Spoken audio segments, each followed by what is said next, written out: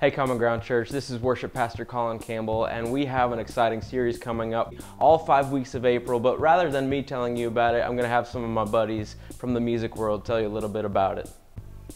Hey, what's happening, my party people? This is Brett Michaels, former lead singer of the band Poison and former winner of the Celebrity Apprentice.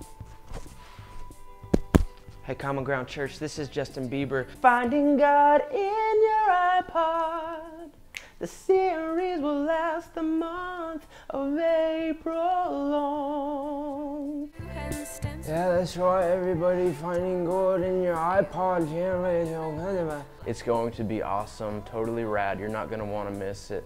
There's going to be dancing and partying, not the bad kind, but just like Christian partying. People, invite all of your friends.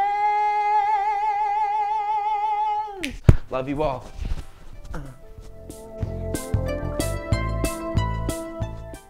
And uh, singing songs and the, music and the, lights and the photos and lots of fun. And